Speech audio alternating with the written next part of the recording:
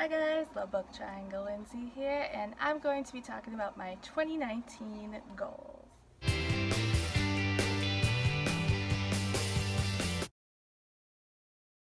First off, I'm going to be talking about some of my YouTube goals, and I just want to create more content. I feel like I did a good amount of videos for myself for my first year ever doing booktube. I actually did my first video on January 1st, pretty sure it was January 1st of last year. So going into my second year I want more content.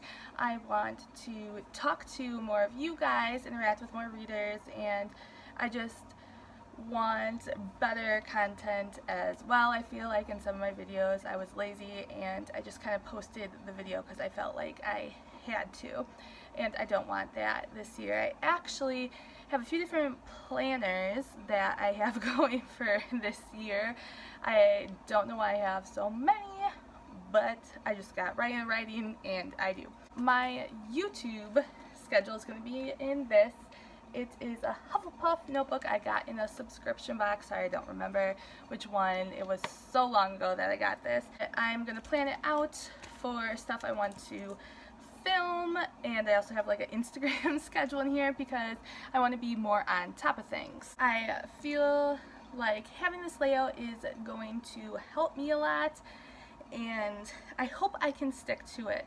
That's another part of my 2019 goals is I feel like I just plan stuff out so much, but I never really stick to it. I'm like, oh, I'll get to it tomorrow, oh, I'll do it a different time, and I just want to stick to what I set for myself, and that's something I'm to work on me for this year. And like I said, Instagram is another thing. I want more content, better quality photos, interacting with more book lovers out there. Other planner that I have. I use this with a gift card I got for Christmas. It was $10, but, well, free because I had a gift card. And I am keeping this one as like a life one and some other different things as well. I'm writing goals in here.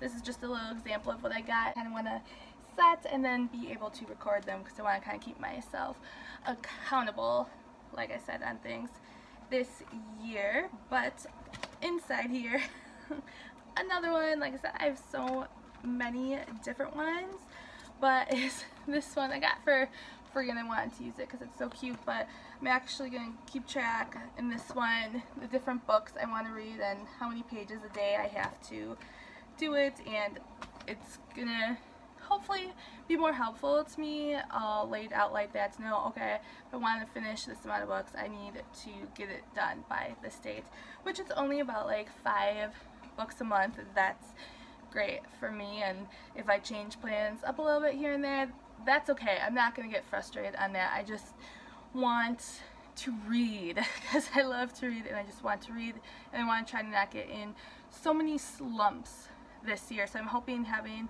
a better laid out schedule will keep me from getting in certain slumps but I want to try to switch from reading to audiobooks because that's helped me a lot these last couple of months and I'm really glad I started listening to those. Something else I want to do this year is reread the Harry Potter series. I have never reread it. I've only read it one time and after seeing Fantastic Beasts Crimes of Grindelwald I just had an urge to dive back into the Harry Potter world because the movie also had me thinking because it referenced stuff that you get in Harry Potter and I want to make sure I have it right too but I just really have been dying to go back to the series and I'm not planning on doing that until after one of the major book events I'm going to this year so I can get things read that I want to get read for the event but in the meantime, I just then started watching the movies again to hold me over. So I want to start rereading things because, I mean, you